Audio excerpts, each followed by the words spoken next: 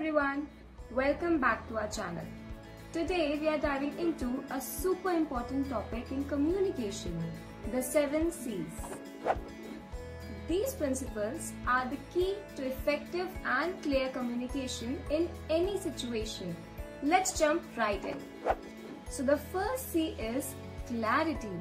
Make sure your message is clear and easy to understand and use simple words so everyone gets what you mean.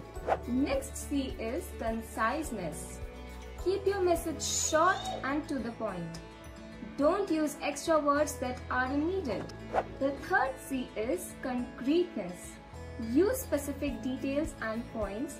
This makes your message stronger and more believable.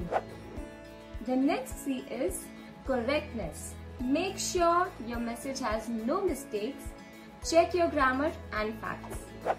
The fifth C is consideration. Think about your audience. What do they need? How do they feel? Make your message fit them. The next C is completeness. Give all the information your audience needs. Don't leave them with questions. Finally, we have courtesy. Be polite and respectful. A nice message helps build good relationship. And that's it, the 7 C's of communication. Use these tips to communicate better. Thanks for watching. If you like this video, give it a big thumbs up and I'll see you next time.